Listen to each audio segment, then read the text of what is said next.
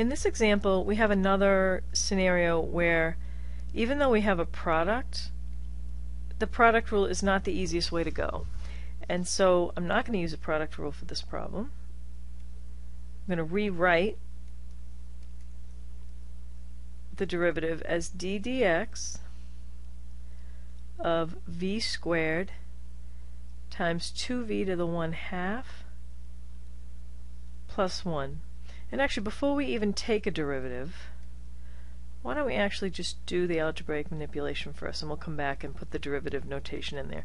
So I'm first going to just distribute this. So I'm going to get 2v. Uh, when you take uh, v squared times v to the 1 half, you get v to the 5 halves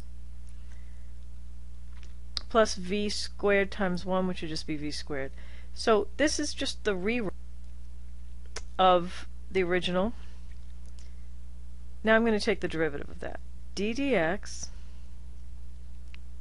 of 2v to the 5 halves plus v squared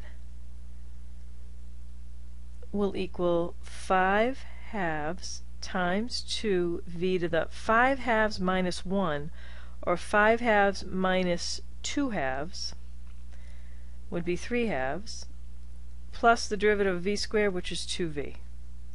We'll simplify this. We get 5v to the 3 halves plus 2v. Let's come down and look at another problem where you have to use the product rule. So I've got x squared times 3 e to the 3x this first function we can call our f, the second function would be our g. So we're going to have first times derivative of the second. So x squared times the derivative of e to the 3x, which we have a little shortcut. The derivative of e to the 3x is going to be 3e to the 3x. So first times derivative of the second plus second times the derivative of the first. So the derivative of x squared is 2x. I'd like to simplify this a little bit. 3x squared e to the 3x plus 2x e to the 3x. Now this is the this is the derivative, but often we're going to have to factor and say set an expression equal to 0, try to find the x-intercepts, things like that. And so it's really good practice now to factor your answer. So let's factor out a common factor. We can take out an x, we can take out an e to the 3x,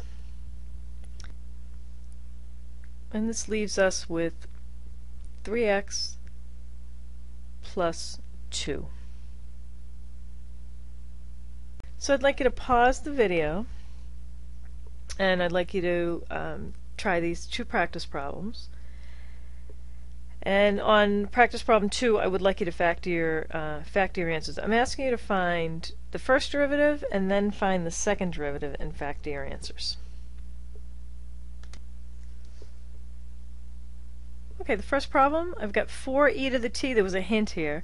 Let the 4 with the et, e to the t equal the first function, and let the square root of t equal your second. Also, um, writing t to the 1 half is sometimes easier than taking the derivative of the square root of t.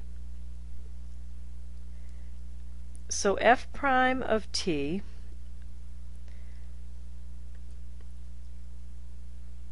f prime of t will equal the first, which is 4 e to the t, times the derivative of t to the 1 half, which is 1 half t to the negative 1 half plus the second, which is t to the 1 half, times the derivative of the first, which is 4 e to the t. Let's try to tidy this up a little bit. I'm going to have 2 e to the t times t to the negative 1 half plus 4 e to the t times t to the 1 half. And so, although this is one form of your answer, I'm going to factor out what I can. I'm going to factor out a 2, I'm going to factor out an e to the t, and I'm actually going to factor out an, a t to the negative 1 half. You may not be used to this, but I'll, I'll, we'll probably do enough of these that this will make should make some sense to you. If I factor out the t to the negative 1 half, well, my first term inside is going to be 1. The second term is going to be 2. And then you ask yourself, what do you have to multiply t to the negative 1 half by to give you t to the 1 half? And the answer would be just t, right? Because t times t to the negative 1 half, that would be 2 halves, minus 1 half would be t to the 1 half. So factoring out a t to the 1 half gives you this nice little algebraic expression in here that if we were asked to find uh, the zeros of this function, it would be much easier than if we left it in this form right here. Alright, let's look at the second example, the second problem. We have, to find the first derivative, we'll use the product rule. First times derivative of the second. So the first is x, the derivative of the second is e to the x. Plus second times the derivative of the first, which is 1. And so I can rewrite this as e to the x. If I factor out an e to the x, I get x plus 1. There's my first derivative. My second derivative, I'm going to take the derivative of the first derivative, right? So this would be my first and the x plus 1 would be my second function in the product. So I have first, which is e to the x, times the derivative of the second. The derivative of the second is 1. Plus the second, which is x plus 1, times derivative of the first, which is e to the x. I'm going to simplify this, e to the x, plus x e to the x, plus e to the x. I can combine like terms, giving me 2e to the x plus x e to the x.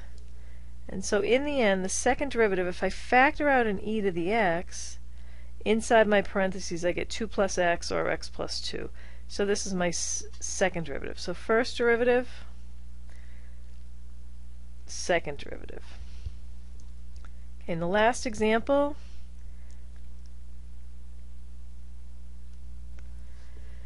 The last example is just d dx of 5e to the 3x. Remember that you're allowed to take a constant outside of a derivative. So d dx of 5e to the x is 5 times d dx of e to the 3x. And we know d dx of e to the 3x is 3e to the 3x. So this would equal 15 e to the 3x. All right, let's look at the next let's look at the next problem. And this is a, a different notation. Product rule is still the same, but using using a slightly different notation. So if you have the derivative of u times v, it would be u of x times v prime of x plus v of x times u prime of x. It's still first times derivative of the second plus second times derivative of the first, or just leaving the x's out of it and a real a real short would be just the derivative of u times v equals uv prime plus vu prime. It's still first times derivative of the second plus second times derivative of the first. And so the first one here, it says working with numerical derivatives. So here we have a scenario where you're not given the actual function, just like we had done um, in a prior lesson where I asked you to find the equation of the tangent line, and I just gave you some notation. You know, f of 2 equals 5, and f prime of 2 equals 10, or something like that. So same idea. We start with our function y equals uv. Uh, this can also be y equals u of x times v of x.